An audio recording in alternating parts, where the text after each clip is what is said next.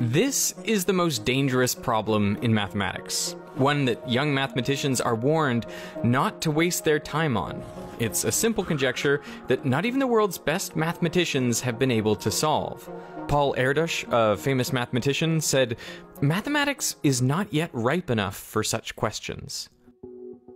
Here's how it works pick a number, any number. 7? Good choice.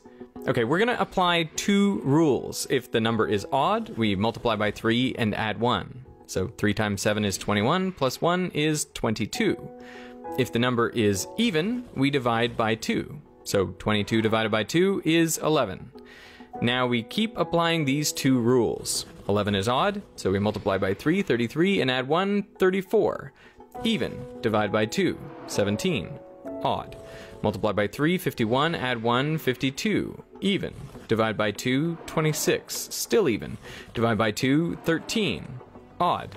So we multiply by 3, 39, add 1, and that's 40, which is even. So we divide by 2, 20, divide by 2, 10, divide by 2, 5. Odd.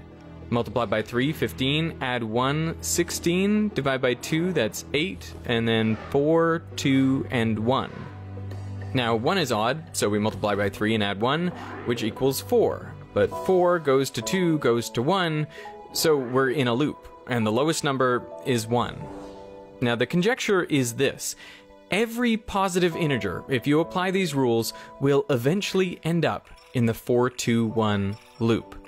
This is commonly called the Collatz conjecture after German mathematician Lothar Collatz, who may have come up with it in the 1930s. But the problem has many origin stories and many names.